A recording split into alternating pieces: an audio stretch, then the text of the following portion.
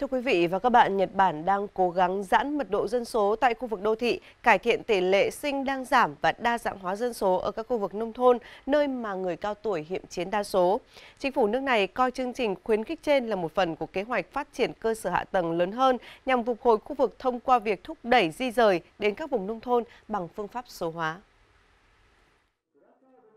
Chính phủ Nhật Bản sẽ khuyến khích người dân chuyển ra khỏi thành phố Tokyo đông đúc bằng cách hỗ trợ 1 triệu yên, tương đương hơn 170 triệu đồng cho mỗi trẻ em rời đi, tăng gấp hơn 3 lần so với mức 300.000 yên trước đó.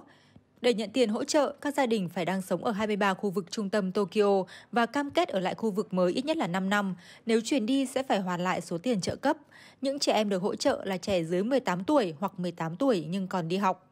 Theo thống kê năm 2021, 28,9% dân số Nhật Bản nằm trong độ tuổi từ 65 trở lên, cao kỷ lục, trong khi tỷ lệ trẻ em từ 0 đến 14 tuổi chỉ chiếm 11,8%, mức thấp nhất từng được ghi nhận.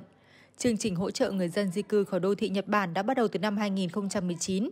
Năm 2021 đã có 2.381 người rời khỏi Tokyo được nhận hỗ trợ, sẽ có hiệu lực từ tháng 4 năm 2023.